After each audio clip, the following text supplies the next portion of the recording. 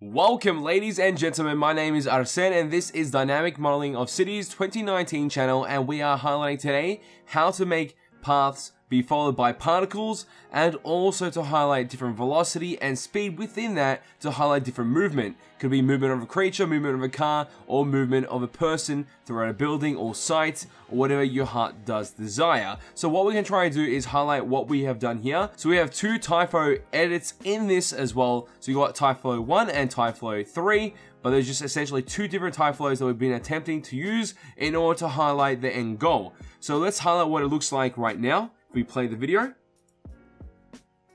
So that's the idea. So it follows the spline or the path or line with its particles from a point that is at a gravity of zero, then it goes with the center of attraction to the line itself on a flat horizontal axis as it follows the line, and then one line is faster than the other as you can see, the green line being faster, that's that can represent a car, while the blue line is representing a movement of people throughout a site. You can highlight that as two different types of movement. And to do so, you need to have two Tyflow windows and two separate modifications for each. It's the pretty much the exact same thing, but the first Tyflow edit needs to be a birth burst. Okay, it will be a birth, it does not matter. It just needs to be birth of particles either way. And then from there, you'll go into a position icon, and then you'll change the location on the position icon to a pivot. And to get a new position icon, you just press create new, and it gives you that surface which you can use. We won't be using that surface because it won't be something of use at the moment for us, because we already have one right there. You place that surface where the particles will be for the birth, and then right underneath it, and then it will start from there, and then be much be grouped in that surface in that position. And then from there, you want to use a speed modifier alongside the icon arrow. So it's usually on random 3D. You change that to a long icon arrow instead, and then you can play the magnitude of one of them to increase the speed of it, like we've done here, to 121. So it gives it a more increased speed for the particles to move at. And then you use a send out modifier on there as well, which you can find right over here. A very easy thing to do, nothing hard to do at all. And then from there, you want to do a path follow, which is the function right over here. You drag that into a separate event, and then you tag the two events together like so, just by pretty much bringing this line here, and then do the exact same thing. Uh, and then it'll be pretty much linked together as a chain reaction.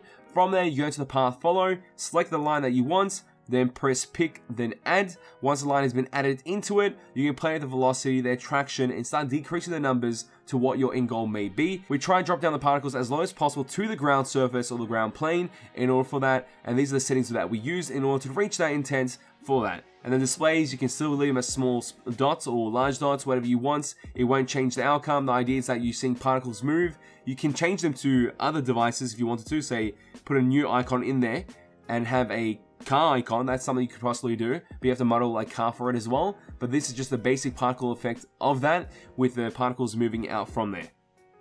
So that's what you notice in the green line or the right uh, T-flow over there, highlighting the faster velocity for the particles to move at compared to the one that's on the left. But the one on the left, the reason why it's been slowed down, it's pretty much the same TY flow modification, but at one point in the next event too, you want to pull a slow modifier on there and change the velocity of that slow by 25%. Once you've done that, it will slow down the particles to a slower speed, and that can be managed in order to highlight a human movement or a creature's movement within Kearney Park for our research project. That's the goal and intent that you'll be using it for, to highlight movement through a building, a space, a land, a site, and also in future reference you can use collisions as well. So when it collides it can reach a stop or bounce off it followed by attraction to other objects. There's a whole bunch of interesting applications that gets into entail with this but obviously your event library in Tyflow will be insane. It'll be one by one just everything just completely doing a chain reaction. So you got to be careful of that and be able to manage it well because if you do stuff at one point and you don't know how to fix it, you will start to get lost. But you can delete modifications from Tyflow just by pressing delete on and by clicking the slow modifier or the path uh, follow and then deleting it from there. But it gives you options for that. And that is pretty much all for this video to highlight movement of creatures, people, cars, whatever you need it to be that you can represent in 3ds Max while using Tyflow as well as an aid to the system. That is all for this video. I'll catch you guys later.